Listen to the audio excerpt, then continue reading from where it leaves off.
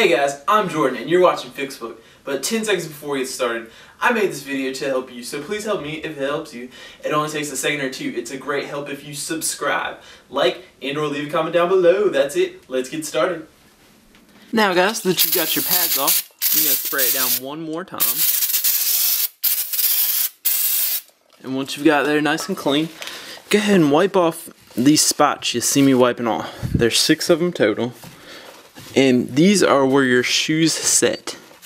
So if you've noticed that when you apply the brakes, you hear a squeaky noise.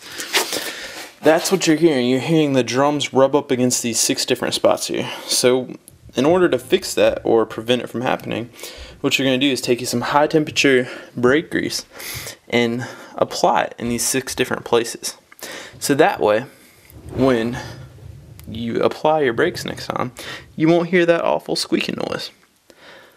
And there we go. Okay guys, and before we put the new shoes back on, this little C-clip here will probably be dented up there pretty good, so I just take the hammer and just kind of beat it a couple times and that'll straighten it right back out. Okay, so now it's time to put everything back together and I'm putting this old nasty brake shoe back on. And you might be wondering, Jordan, why are you not putting new brake shoes on? And Jordan, why are you not using jack stands? Well, those are good questions. But the reason I'm not doing this stuff is because, well, number one, I didn't plan on putting new shoes on my car today. So that's one reason why. I will be doing that soon, though, obviously. And again, I'm not prepared with the jack stands like I should be, so I need to work on that. But that doesn't mean you shouldn't use them. So I like to kind of work the C-clamping like that. And then I like to take a little ratchet here. And then, ooh, just bang it right in. So now that's nice and secure. And then I'll take, oh, I got some metal in me. That's okay, I'll get to that later. So then I'll take the side cutters and then I'll squeeze down to kind of close them here. If I can do that. Let's see if I can flip them around that. Okay, and what I was saying there is, uh, I was talking about taking the dikes and squeezing them, but actually works a little bit better if you take some pliers, because you can get a better grip on them. And you just want to squeeze them closed a little bit more. And just like that works just fine. Now, the C-clip will definitely, C-clip will definitely not come off. And then you're going to go ahead and turn around like we talked about earlier and swing it up. Okay guys, now this is your star wheel adjuster piece. And it came out probably looking something like this. What you're going to want to do when we go to put everything back in is you're going to want to run it all the way down like that. And then this side is going to go like so on this side over there on the brake assembly. And you're going to turn it all the way down like that and then once we get it back on you're going to use some kind of brake spoon or a flathead screwdriver and you're to adjust this back out so that the brake drums are adjusted correctly but for the sake of getting the shoes back in there correctly and doing it the easy way you're to want to run this all the way down okay guys and now it's time for the fun to really begin so what we're to do is we're to take your brake flip them around and bring them up here. We'll go ahead and put the hold down pin in there. And, oh, yeah, try to do this in one smooth flowing shot here.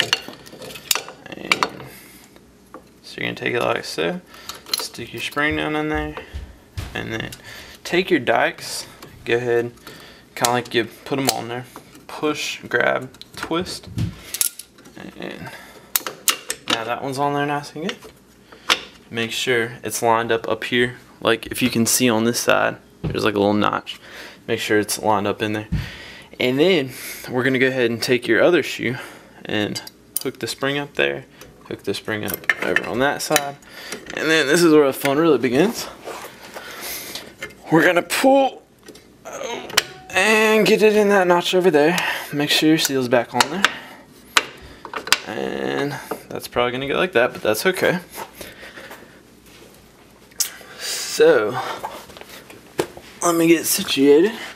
The next thing we'll do is take your star wheel adjuster thingy and we're going to slightly lift up on this side. And remember, that shorter side goes towards the back.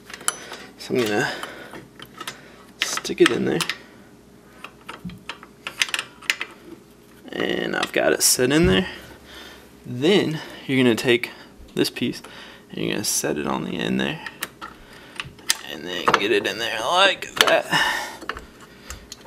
And I've came off the notch.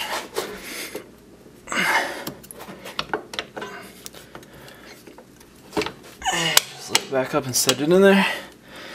Now that we got that all loaded, we, and next thing you want to do is lift up on this shoe here a little bit, and then go ahead and fit that little notch into that hole right there, and then let it back down, and it will be all set up just how it should be. Then make sure to take your pin here, reach around. So, once you've got your pin all lined up, go ahead and take your spring here and set them on down. And all you gotta do is, just like with all the other ones, you take your dikes and you push, grab, and turn. Well, it didn't work that well, but I'll do it again here.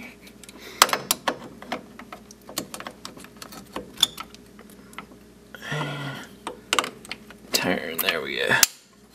Snaps into place good. So, you've just got uh, you just about got everything back together. Next thing, you just go ahead and take this one. This one's not too hard. You just reach up in there, hold it for a second, grab with the dikes, and reach and hook it down in there. And you can see the hole I'm talking about. And then the lastly, we'll put the spring down here at the bottom, which is one of the toughest ones. Alright, and it's time for our last spring, which is the most difficult spring. So you're going to go ahead and take it, put it on there like so. And I kind of like to cheat a little bit. I like to bend the spring just a little bit so you can see it's got more of a more of a hooking angle on it. Because if it's just straight, it's near impossible to get that spring back on there. So I go ahead and I grab with the dikes. And then I have my flathead screwdriver prepared. So when I kind of claw it, I'll reach behind here and push. And hope it goes in. So that's how I normally do it here. And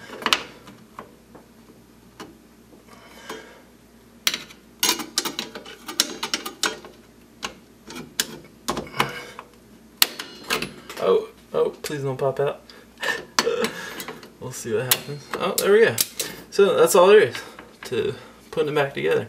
Now, the next thing we'll have to do is reaching up top. See, yeah, up top, we'll be reaching in over here to adjust these shoes out so that they have some tension. Right now, they don't have any tension at all since we adjusted the star wheel all the way down. Okay guys, and now you're looking from up top here, and I'm using this flathead screwdriver, and when you adjust down, when you make the star wheel go in a downward position, you are tightening the shoes against the drums. So I'm going down a little bit, and then if you need to loosen them up a bit, then you take this piece right here, which is the star wheel stopper. And so you pull it out, and then you're gonna go the opposite way. So, like so. And so that's that's the way you loosen it. So what we're gonna do is I'm gonna go ahead and tighten it up quite a bit. Then I'm gonna go ahead and put the drum back on, and I'll put the wheel back on with one lug nut, and you see how this just spins freely. So what you want is you want the wheel with the wheel on, you want it to be able to spree friendly, sp spin freely, one rotation. So I'll show you what that looks like here in just a second. So you're just gonna have to play with it, you'll tighten it and loosen it. It may take you a few times. And once you've got that done, um, I'll show you what it looks like. Okay guys, and this is my first attempt to tighten up the drum brakes. And as you can see, I spin it and it just keeps on going. So that is not tight enough. You can see that lug nut made more than one complete circle. So it needs to be tighter than that. And I'm going to give it a few more tries and then I'll show you what it looks like when it's tightened up properly. Okay guys, now I've adjusted it again and as you can see, I spin it one time and it kind of stops. If I were to spin a little bit harder, it'd keep on going. So it could probably stand to be adjusted a little bit more, but as you can tell, it's tighter than it was, so just make sure it looks a little something like that, maybe a little bit tighter would be better, and that's pretty much all there is to the adjustment part, and also, that's pretty much all there is to doing the whole brake thing. So that's it, and I hope you like this video better than the original. And thanks for watching, and I'll see you next time. Well guys, unfortunately that's all the time I have for today. I hope you guys enjoyed this video just as much as I did making it. And fortunately, you can catch me again right here on Fixbook tomorrow on my next video. Just don't forget to subscribe, like, and leave lots of comments down below. Well, thanks again guys for watching, and see you tomorrow right here on Fixbook.